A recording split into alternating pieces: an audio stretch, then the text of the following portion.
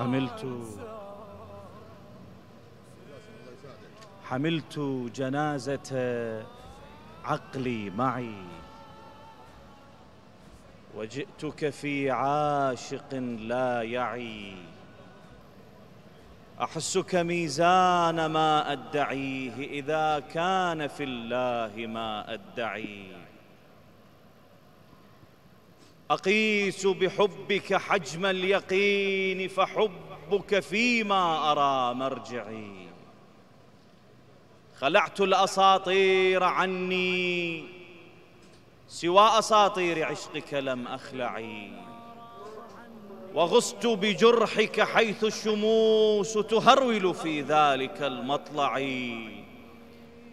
وحيث المثلث شق الطريق أمامي إلى العالم الأرفع.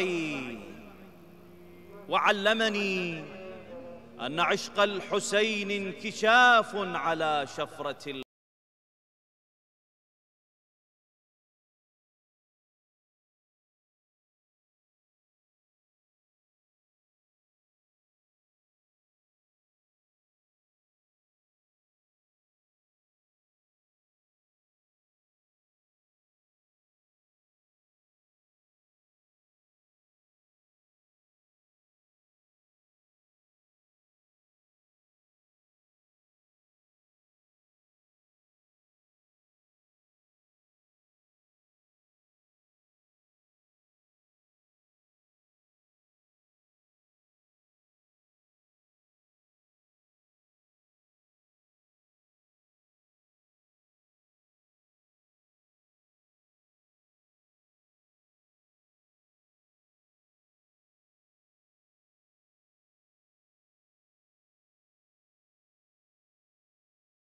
ضعي فعريت روحي أمام السيوف التي التهمتك ولم تشبعي. وآمنت بالعشق نبع الجنون فقد برئ العشق ممن يعي. وجئتك في نشوة لا عقول أجر جنازة عقلي معي. أتيتك أفتل حبل السؤال متى ضمك العشق في أضلعي؟ عرفتك في الطلق جسر العبور من الرحم للعالم الأوسع. ووالدتي بك تحدو المخاض على هودج الألم الممتع. وقد سرت بي للهوى قبل ما يسير بي للجوع المرضع. وقد سرت بي للهوى قبل ما يسير بي الجوع للمرضع. لمستك في المهد دفء الحنان. على ثوب أمي والملفع وفي الرضعة البكر أنت الذي تقاطرت في اللبن الموجع.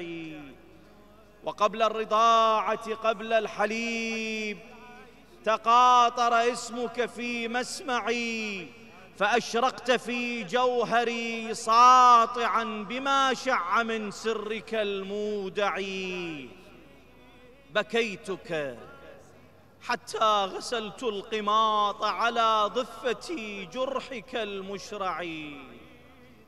وما كنت أبكيك لو لم تكن. دماؤك قد أيقظت أدمعي. كبرت أنا والبكاء الصغير يكبر عبر الليالي معي. ولم يبق في حجم ذاك البكاء مصب يلوذ به منبعي أنا دمعة عمرها أربعون جحيما من الألم المترع هنا هنا في دمي بدأت كربلاء وتمت إلى آخر المصرع كأنك يوم أردت الخروج عبرت الطريق على أضلعي ويوما انحنى بك متن الجواد سقطت ولكن على أذرعي ويوم توزعت بين الرماح جمعتك في قلبي المولع. ويوم توزعت بين الرماح جمعتك في قلبي المولع. انت الهوى لا تنفسه يا العايش بانفاسي هذا القلب مثل الصخر لو ما جنيت بإحساسي. انت الهوى لا تنفسه يا العايش بأنفاسي. هذا القلب مثل الصخر لو ما جنيت بإحساسي. يا مالك ركشت على بابك وتعود خدي بس يلفى بترابك أنا العايش وسط صحراء ميتة حسين تعطف علي بسحاب. يا مالك رقشت أنا على بابك وتعود خدي بس يلفى بترابك أنا العايش وسط صحراء ميتة حسين تعطف علي بسحاب.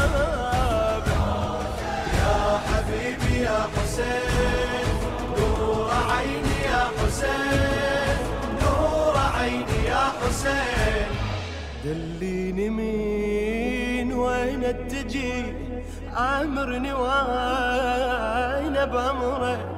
بكيفك أنا بس المغيب. خليني أبقى بكترك. دليني مين وين اتجي عامرني وأنا بأمرك.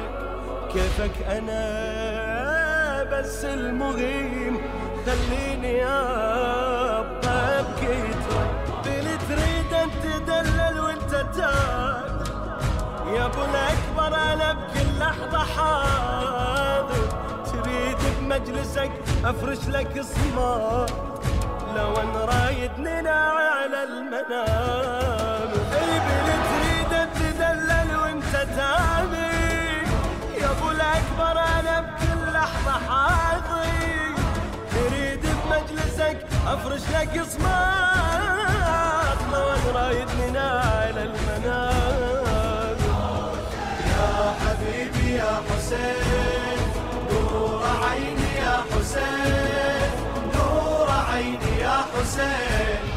يوم الحشر يا سيدي مشبوح صوبك عيني. بشوق انتظر لما تجي وتلزمني مني ميني بسم الله بدأنا العزاء ولن ينتهي حتى ظهور القائم من آل محمد عليهم أفضل الصلاة والسلام. حياكم الله أحبتنا مشاهدي قناة كربلاء الفضائية. أينما كنتم وها نحن وإياكم ننتقل من محور إلى آخر. عبر تغطياتنا المستمرة لقناتكم قناة كربلاء الفضائية. وشيئا فشيئا لكي نوصل لكم هذه الأعداد المليونية المتوجهة إلى كربلاء العشق والإباء إلى كربلاء الحسين وأخيه أبي الفضل عباس سلام الله عليهما. ونحن ما زلنا وإياكم في هذا اليوم يوم الجمعة. أسأل الله سبحانه وتعالى أن يعجل في فرس سيد ومولى صاحب العصر والزمان. اللهم إنا نرغب إليك في دولة كريمة تعز بها الإسلام وأهله وتذل بها النفاق وأهله وتجعلنا فيها من الدعاة إلى طاعتك والقادة إلى سبيلك وأن ترزقنا بها كرامة الدنيا والآخرة. محورنا في هذا اليوم كلامنا حديثنا حول من فاتته زيارة الإمام الحسين سلام الله عليه. وعظمة هذه الزيارة ومكانة هذه الزيارة وما يحصل عليه الزائر والخادم للإمام الحسين عليه أفضل الصلاة والسلام للوصول إلى كربلاء المقدسة. واحدة من أحاديث أهل البيت إذا أراد لي المخرج أن أقف عندها في بداية لهذه التغطية سأقف عندها بدقائق قليلة. في أحاديث أهل البيت عليهم أفضل الصلاة والسلام من زار الحسين كمن زار الله في عرشه انظروا لهذا الكلام. هنالك ذيل لتلك الرواية ومن زار أحد أهل البيت عليهم أفضل الصلاة والسلام. زيارتك للإمام علي عليه السلام زيارتك للإمام الرضا زيارتك لأهل البيت أجمع بأجمعهم. ماذا يعني في روايات أهل البيت كمن زار النبي صلى الله عليه وآله؟ انظر إلى الخصوصية. الإمام الحسين من يزوره كمن زار الله في عرشه. بينما بقية أهل البيت عليهم أفضل الصلاة والسلام كمن زار قبر النبي محمد صلى الله عليه وآله. أي عظمة لزائر الإمام الحسين سلام الله عليه. لو عرف الزائر ما لفضل زيارة الحسين عليه أفضل الصلاة والسلام لأتوه حبيا أو حبوا على الأقدام إلى كربلاء المقدسة. ليصلوا إلى الإمام الحسين سلام الله عليه ويحصلوا على ذلك الأجر والثواب. لكن من لم يستطع المجيء إلى كربلاء المقدسة وكما نوهنا في صبيحة هذا اليوم ربما تختلف الأسباب بين شخص وآخر بين إنسان وآخر من هو داخل العراق وخارج العراق. ولكن ماذا يحتاج الإنسان؟ يحتاج إلى جانب من التوفيق.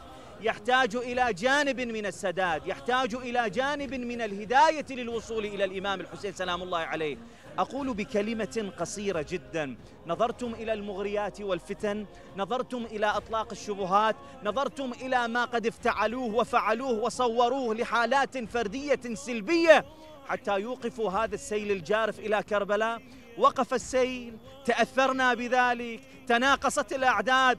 والله يوم أمس ليلا قد تعودنا في محافظة النجف الأشرف بأننا نغلق المواكب المؤدية إلى كربلاء المقدسة ليلة 17 والكل يتوجه أهالي النجف إلى كربلاء المقدسة لكي يكونوا من زوار الإمام الحسين.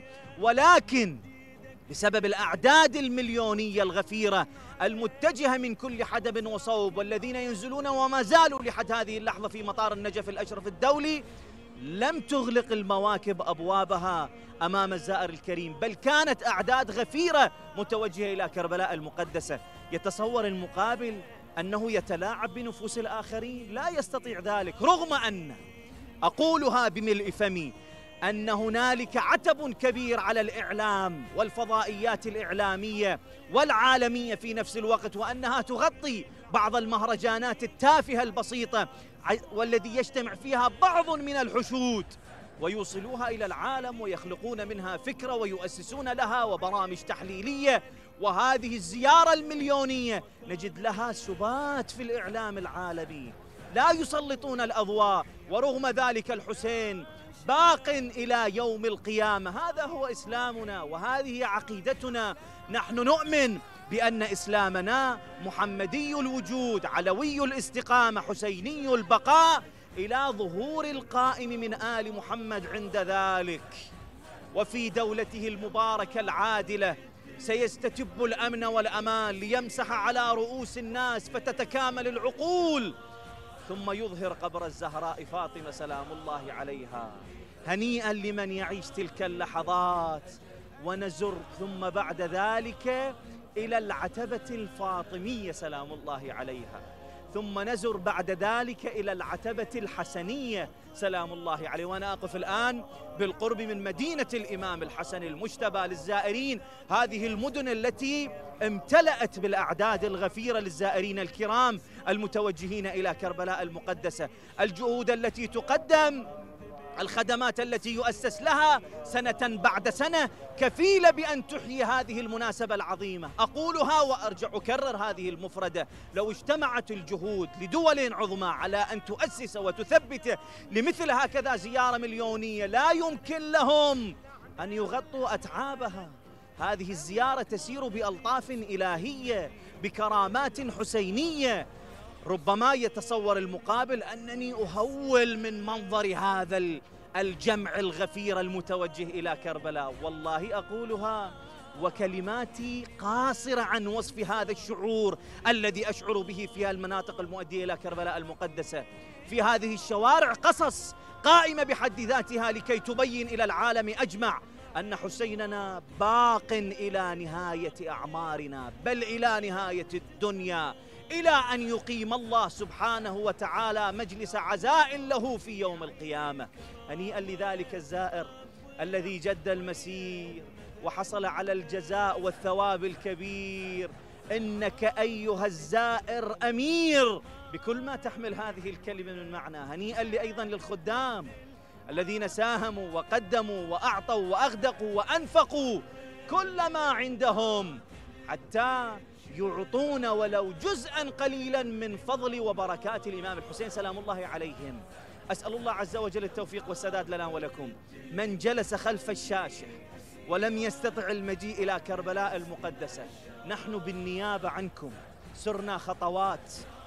وإن شاء الله إن كتب لنا الله عز وجل عمرا طويلا بالوصول إلى كربلاء المقدسة. إلى مرقد الإمام الحسين كلكم. ولن أستثني منكم أحدا. طالما في قلوبكم شوق للوصول إلى كربلاء المقدسة سنزر عنكم بالنيابة. وقبل كل شيء نهدي ثواب ما عملناه إلى سيدي ومولاي صاحب العصر والزمان الحجة القائم المهدي المنتظر مولاي. نتمنى أننا لم نقصر معكم. ونتمنى أن نكون الناطقين بصوتكم والصادحين بإعلامكم وأن تكن هذه القناة قناة كربلاء الفضائية إن شاء الله الباث لعلومكم ومعارفكم دائما وأبدا بل الناطقة بيوم ظهوركم. وأن نكون معكم وفي ركبكم هنيئا لمن ركب هذه السفينة الكبيرة العظيمة سفينة الإمام الحسين عليه أفضل الصلاة والسلام. من ركبها نجا ومن تخلف عنها غرق وهوى. سفينة الحسين أوسع وفي لجج البحار أسرع. هذا ما يعتقده الزائر والمتوجه إلى كربلاء الإمام الحسين سلام الله عليه. أثقلت عليكم بالكلام أعتذر لكم. دعوني أنتقل لكم الآن بكلام صوري بلقطات تحبس الأنفاس لكي توصل إليكم إن شاء الله ما لم أستطع أن أوصله لكم إطلاقا. أنا ينبغي لي أن أستشير المخرج قبل أن أنتقل. كم لدي من الوقت؟ جيد. إلى أين أنتقل؟ تمام. إذا سأنتقل بكم أحبتنا المشاهدين. إلى مدينة الإمام الحسين العصرية سلام الله عليه من مدينة الإمام الحسن المجتبى. ومن هناك سنستمع إلى صور أخرى وإلى كلمات أخرى وإلى دروس وعبر أخرى وإن شاء الله كلها تصب في حفظ وكرامة الإنسان. هنيئا لزائر الحسين فسلام من الله عليكم جميعا أحبتنا المشاهدين ورحمة منه وبركات